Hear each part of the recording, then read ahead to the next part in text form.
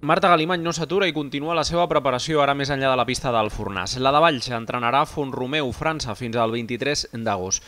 Sessions de treball exigents en companyia d'altres atletes i amb l'objectiu de preparar, si tot va bé, el Campionat de Catalunya de 5.000 metres, que se celebrarà el 29 d'agost a Santa Cristina d'Aro.